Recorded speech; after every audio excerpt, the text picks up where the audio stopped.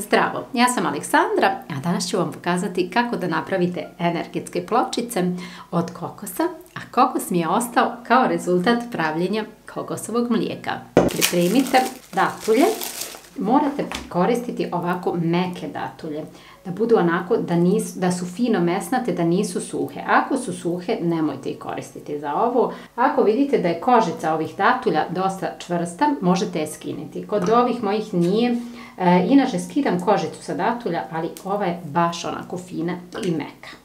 Ja ću staviti otprilike 150 grama datulja, možete staviti 100 grama, možete staviti 200, sve zavisi od vas i vaše želje. Ovdje ću staviti kokos i ovo ću sada izblendati pa ću dodati i ostatak kokosa. I kada ste ovo fino izmiksali, možete dodati 4 kašike kakaova. Ovo sada još jednom dobro izmiksajte. Evo vidite kako ovo sada izgleda. Vi ovo možete sada samo jesti ovako, bez da dodajete išta drugo. Zaista je fino, ukusno, onako ugodno. Podijelite na otprilike tri jednaka dijela. U jedan dio ću dodati sušene maline.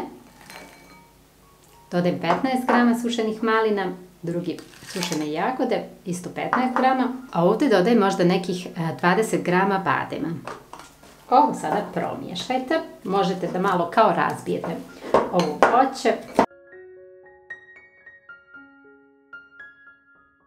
Pripremite papir za pečenje i stavite ovako masu preko papira. I ovako poravnajte na željen oblik.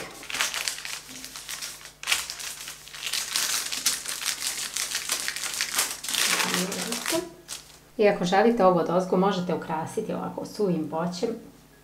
Samo da bi je onako estetski bilo kao malo ljepši.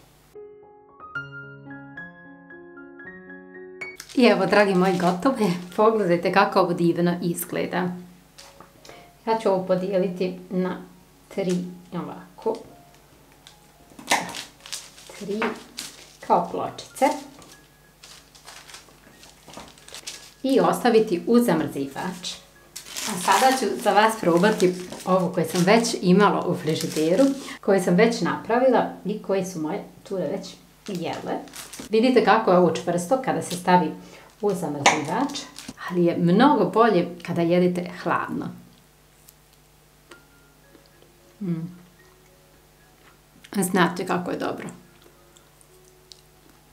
Mm. Ovo je baš onako jedna fina, zdrava čokoladica.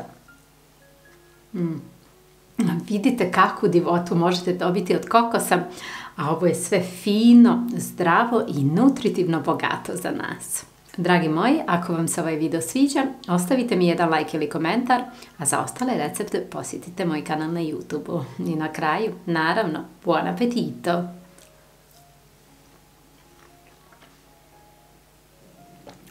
Mm.